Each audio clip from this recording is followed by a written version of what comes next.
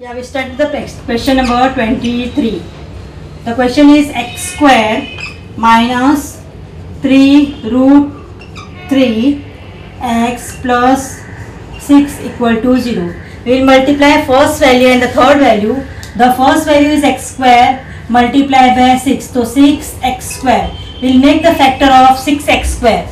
We want minus 3 root. So we make the factor we'll make the factor minus 2 root 3 or root 3 so if root 3 and root 3 will multiply so we'll get 3 and 2 3 root 3 and root 3 will be multiplied so it will be 3 multiply by 2 so we'll get the answer 6 means 6 raised to square x square okay so we'll make the factor x square minus 2 root 3 x minus three root three x plus six equal to zero will take your common only x तो x minus two root three minus root three